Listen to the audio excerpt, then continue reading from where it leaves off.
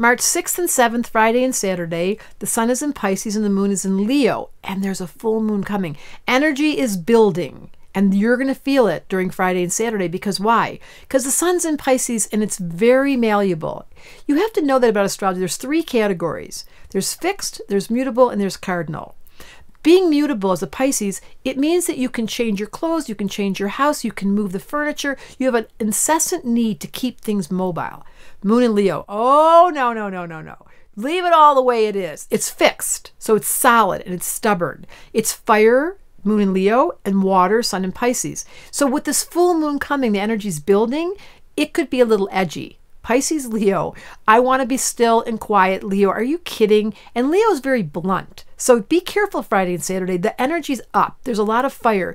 And there's a T square in the heavens that's really strong and it's releasing in Scorpio. So I would say the release of this weekend, if there's some edginess or you're feeling blunt, is to move some energy. Scorpio is inviting you to be physical, to be sexual, to be athletic. Moon and Leo saying get dressed up. Take your energy and move it. Don't stay home and let this cook. Pisces always wanted to stay home. Moon and Leo says let's go out. So during this retrograde, Mercury's going to go, oh, Mercury's going direct soon. This is going to be over. On the 9th, it's going direct. But in the meantime, when it's retrograde and the moon's in fire and the sun's in water and it's a weekend and there's a T square releasing in Scorpio, you might want to pay attention. And by the way, coming soon to our neighborhood, Saturn's entering Aquarius for the next two and a half years. We've had a two and a half year window of Saturn being in Capricorn. So everyone you know that was born with Saturn in Capricorn, that would be 88, 89, that would be, you can go all the way back to 58, 59.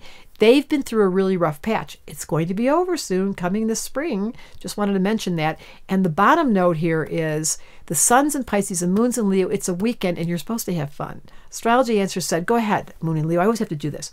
Use your moon and Leo. A little bit of color, a little bit of flair. Don't stay home and get pissy. Get outside and do something.